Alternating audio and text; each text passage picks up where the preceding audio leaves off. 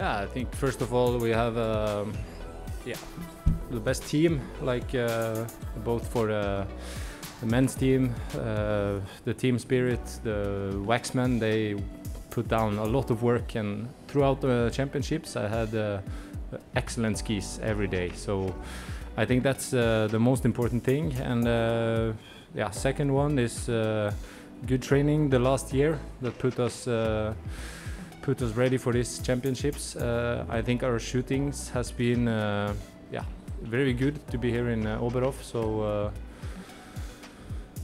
yeah, can look back uh, at the championship with uh, only positive mindset.